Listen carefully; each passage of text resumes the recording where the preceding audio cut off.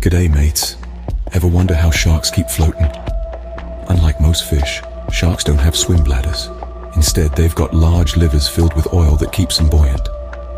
Oh, and they've got a sixth sense too. It's called electroreception. Helps them detect the electrical signals emitted by other animals. Pretty cool, huh? And here's a shocker. Most species of sharks have good eyesight, they can see clearly in the dark and murky waters. Lastly, did you know the whale shark, the biggest of them all, is a gentle giant? Only feeds on plankton. So you see, sharks are not just mindless eating machines. They're quite fascinating creatures.